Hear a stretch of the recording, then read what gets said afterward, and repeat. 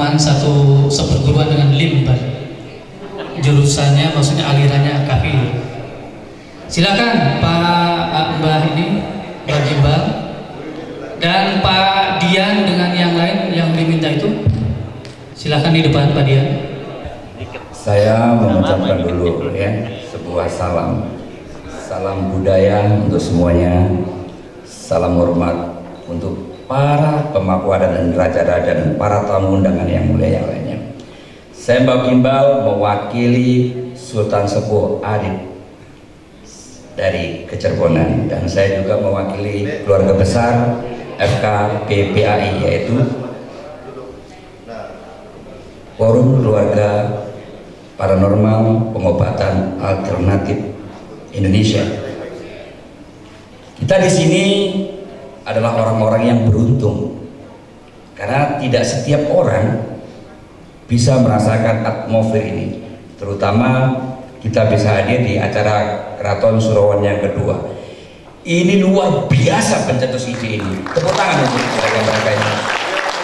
Dan kita wajib berbangga karena kita semua ini berada di tanah yang luar biasa sucinya.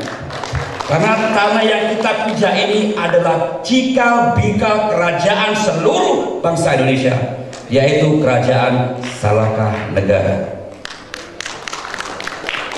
Ini kita bersyukur. Hanya Salaka negara lah yang membuat adanya kerajaan-kerajaan lain. Untuk penerus dari keluarga kerajaan Salaka negara semoga bisa kembali mempersatukan persatuan yang luar biasa dan Akitirem adalah tokoh legendaris yang patut kita hormati. Tanpa beliau, Salaka negara tidak ada dan kerajaan-kerajaan lain hanya among kosong, hanya cerita mitos. Tapi kerajaan Salaka negara luar biasa. Tepuk tangan untuk semua yang ada di sini. Dan panitia ini sudah berpikir banyak untuk membuat acara ini. Ini tidak main-main segala energi dan kekuatan, kekompakan dibutuhkan.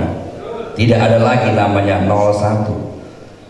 Tidak ada lagi namanya 02. Yang ada adalah 03. Apa itu 03? Di dalam sila Pancasila Persatuan Indonesia. Kita harus bersatu. Kompak kembali. Dan jangan merasa hebat ketika hidup Anda tidak bermanfaat untuk orang banyak. Jangan merasa kuat ketika kekuatan kita tidak mampu menolong orang-orang yang lemah. Mudah-mudahan dengan adanya festival keraton ini menyatukan kembali kekuatan yang luar biasa. Saya Mbak Gimbal akan coba menghibur.